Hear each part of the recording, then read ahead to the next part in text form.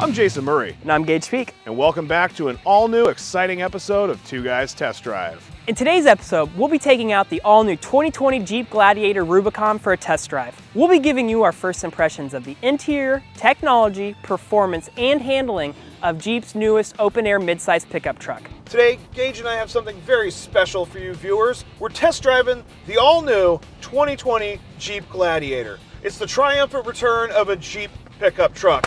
Round of applause, everybody.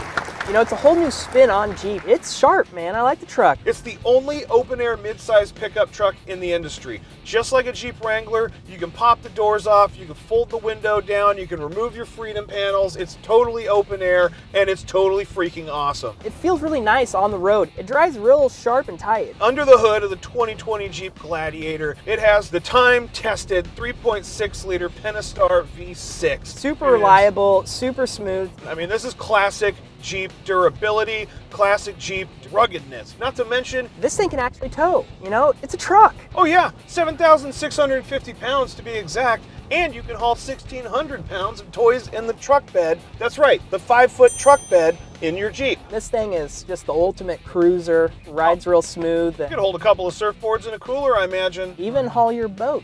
The interior on this Rubicon is a luxury interior. It's leather wrapped, it's got that two tone stitching. Of course, like a Wrangler, you can hose it off. Plenty of room, plenty of storage spaces, and of course, the 8.4 inch Uconnect 4C nav infotainment system. You're talking about all this luxury stuff, and you forget almost that this thing's on some Fox Springs. I Oh, mean, yeah?